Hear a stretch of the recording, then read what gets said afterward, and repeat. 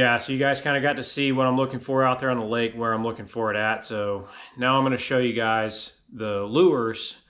I tried to I tried to narrow it down to my top five. Um, really couldn't get it down to top five. Uh, the fishing stuff out there in January on Toho, especially with the offshore grass situation out there right now, um, it's really really fluid. You know, it's changing a lot. But I've got on the deck of the boat right now kind of my top picks altogether, including a wild card that I'll show you guys. So let's get into it. All right, guys. So first and foremost, number one lure choice out there on Toho, uh, December all the way until you know getting into February, March. Um, especially if we if you get cold fronts and that water temp stays in the low 60s and the 50s, it's got to be the hard jerk bait. Hard jerkbait is probably the number one producing lure on Toho uh, this time of year. Um, a lot of people like to throw the Megabass stuff. Me personally, I'm a little more partial to the Jackall Rerange. Um, I throw a standard 110. Uh, the colors that I throw can vary. Um, I've got a wide range of colors that I throw in that Jackall Rerange. Um, not going to get into all the names, but basically if I've got a really bluebird sky sunny day, I'm going to throw something a little bit more transparent, a little bit easier on their eyes. Um, I really like that hollow RT minnow, um, kind of some duller colors um, or transparent stuff. If I've got a little bit of a cloudy day or if I've got a lot of wind on the water, I'll actually go to a more solid color like this one right here. This is kind of a, a black back, kind of a chrome shad kind of deal. Uh, it shows up in that water really well. But jerkbait, probably going to be my number one choice for January. It's hard to go wrong with a jerkbait. You can really rip it through that grass, you know, and, and when you finally clear that grass or you get on the other side of it, you know, you can let it sit there and suspend and catch a lot of nice fish that'll come out of that grass and eat that suspended jerkbait. Um, the gear that I throw jerkbait on can vary pretty greatly depending on the situation I'm throwing a jerkbait in, water depth, all that kind of stuff. On Toho right now, I'm throwing my jerkbait on a Dobyns Sierra Micro, and it's the 703. I don't know if you guys can see that or not, but that Dobyns Sierra 703, it's it's not overly long rod, but it's got enough backbone to rip that jerkbait through the grass. Um, some of my softer jerkbait rods, they tend to flex a little too much when I'm trying to get that jerkbait in and out of that grass. So I go a little bit stouter rod out there. I'm also throwing a, a, heavier line. I'm throwing 12 pound. Typically I would recommend throwing 10. If I'm chasing schooling fish and I'm fishing deeper, trying to get that jerk bait down farther into the water column after some uh, schooling fish that I'm live scoping or maybe individual fish that I'm trying to catch on live scope, I'll actually back back down to a little bit lighter of a rod and lighter pound test line, go down to 10. Um, that's usually my jerkbait setup. Like I said, Toho's got so much hydrilla in it right now, and those fish are relating so heavily to that hydrilla, especially the really thick stuff. I'm actually throwing a stouter rod, that Sierra 703. It's not a glass rod. Um, it's just a standard 703 Dobyns Sierra, and throwing 12 pound line on that. All right, so number two lure choice on Toho in January for me right now is going to be the lipless crankbait. Lipless crankbait's been producing fish on Toho in the wintertime, fall, probably actually year round for ages, long time. Um, never seems to stop working. And it's a great reaction style bait because you can really rip it through grass. Everybody knows that. Um, I don't have a particular brand of lipless crankbait that I throw. This one happens to be made by Arc. Um, it's pretty good trap. Um, I like it a lot. I like the Yo-Zuris. I've thrown a lot of them that all work pretty good. Um, pretty much as long as it'll rip through the grass, it'll probably get bit. As far as colors go, I really like somewhat of a transparent lipless crankbait on Toho right now. I don't know if you guys can see that or not. That's not a solid color. It's got a gold to a black back on it, but the belly of it's transparent.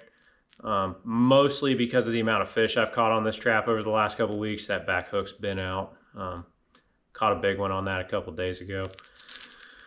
But, and I don't like a super over noisy trap, typically I like the one knocker style stuff. Um, this one's got just the conventional BBs in it, but that trap's done really well. But yeah, the lipless crankbait, ripping it in and out of grass, gonna be my number two choice on Toho, especially when that water's cold, because you can get a reaction bite out of those fish.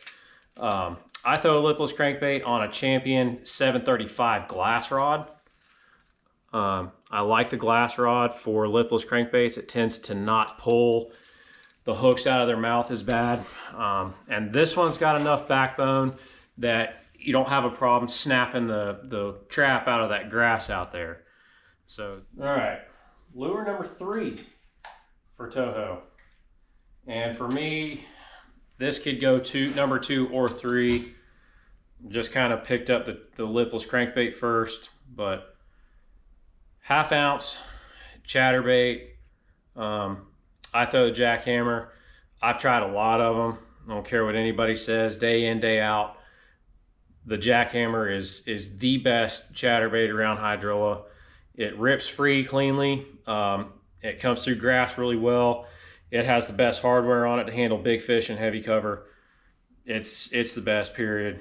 Um, as far as colors on that go, I usually bounce back and forth between, and I don't know the color of this, but it's like a shad pattern, but it has a gold blade on it. This time of year, when that water gets really, really clear on Toho, I like a gold blade over a silver blade. Um, I feel like there's a few more bigger fish that eat gold shiners than there are shad. I feel like some of the bigger fish in the lake don't spend most of their day chasing shad necessarily. So I like gold stuff. Um, but either just a shad pattern with some gold on it or the golden shiner one, you know, it's all good stuff. And then as far as a chatterbait trailer, Hog Farmer makes that pintail shad. I think it's called a pintail shad by Hog Farmer it's any of these these pintail baits are, in my opinion, they're the best chatterbait trailers out there. I catch a lot of nice fish on these trailers like this. And again, that's kind of a, a gold shiner color. As far as a rod goes for what I actually throw the uh, jackhammer on, um, Dobyns has a line of rods called the Kaden series. And I really like the 743 for that. That 743 is really nice. It's got a lot of backbone and being a three power, it's got a lot of give. I throw that on straight braid. um, I'm throwing that on the CPF Lures 9X braid. And all my casting rods, I'm throwing that in the 20 pound test. Turn that up so see it. But I throw that CPF Lures 9X 20 pound test on all my casting rods. And I throw the chatterbait and the lipless crankbait on a leader. I usually put about four or five feet of 16 to maybe 20 pound test fluorocarbon leader on there. Um, I don't like to go any lighter than that because I still like to have that ability to rip that bait out of the grass. But yeah, chatterbait and the lipless, two or three, one or the other, don't know. Um, I like them both probably equally the same chatterbait's pretty good, especially around all that grass. So my number four bait of choice for Toho in January, again, it's a toss-up. Couldn't really pick between one or the other, but I'm gonna go swim jig, swim bait with a belly, belly weighted flashy swimmer hook. I really like these. They come through the grass really good. And uh, especially later in the day when the water temp gets up into the 60s, and the fish get a little bit more apt to chase down food. Um, I like to go to a little bit bigger profile on on a weedless bait because, like I said, all day I'm right now I'm fishing hydrilla. Period. Um, my swim jig of choice is going to be a half ounce Bakewell custom jig swim jig, and I'm pairing that up with a CPF Lures wobbler on the back of that. Um, I don't remember right off hand the, the name of that color, but it's like a green pumpkin pearl and it's got some red glitter in it. That's my favorite this time of year for shad patterns. I really, uh, when the water gets as clear as it is on Toho, I really like that red glitter. Don't know why, but they seem to, they seem to like it enough to get bit. Um, throwing throwing my swim jig, half ounce Bakewell custom swim jig on a Kaden, but this is a 744. It's that 7.4 Kaden blank, but it's a little bit stiffer. Um, it's just like that chatterbait rod I'm throwing, but it's a little bit heavier rod. It's got a little bit more backbone. You know, you get a big girl comes up in the grass and eats that swim jig. Want a little bit more backbone to get her out of there. And my swim jig, I'm throwing on just straight braid. I don't put a leader on there. Again, that's going to be that CPF Lures 9X, the black no fade braid. That's 20 pound test. Now, I know some of y'all probably think I'm crazy for throwing 20 pound test in hydrilla, but I can tell you I've not had any problems yet. And I absolutely don't let up on fish whatsoever. I, I, I'm pretty hard on them. Um, and then probably my, my tie for number four, I could grab either one, is going to be a swim bait with a flashy swimmer hook on it. I really like that, especially on cloudier days. Um, really sunny days, with that water being as clear as it is out there, you don't pick up as many bites, but this is definitely a, uh, later in the day, this is a big fish getter right here. This guy will pick up some big bites for me. I'm throwing that on a uh, Dobyns Champion rod. It's a uh, 763. It's my favorite rod to throw that little swim bait on. That's a five inch swim bait and a 3 8 ounce owner flashy swimmer hook. Throwing that again, 20 pound CPF Lures 9X braid. But I throw that on a really slow reel. This is actually an old Revo S, really old Revo S, but it's got a 6 4 to 1 gear ratio that I really like. Um, really keeps that swim bait really kicking slow. Pick up a lot of big bites on that guy.